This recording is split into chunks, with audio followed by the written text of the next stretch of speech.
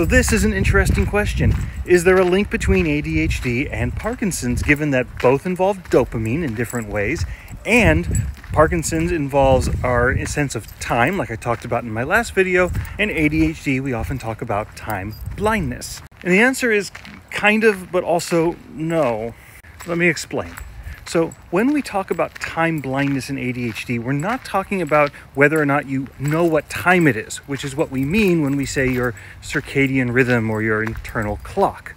The time blindness in ADHD is more about how it's difficult to connect with the importance or value of things in the future as much as connecting with the value of things in the present and that sense of time, like what time of day it is, is actually involving uh, an area called the suprachiasmatic nucleus of the hypothalamus, and that involves neurotransmitters like acetylcholine, not dopamine.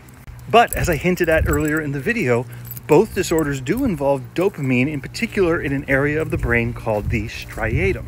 And there does seem to be some kind of overlap between the two disorders.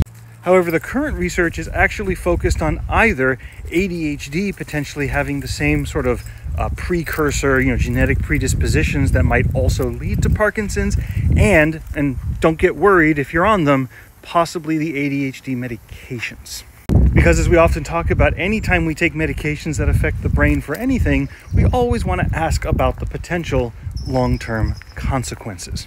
And so, in the case of taking a drug that affects dopamine levels in the brain, there's always the chance that we're going to affect other systems that also use dopamine that are different from the part of the brain we were trying to target with that particular med for the particular person.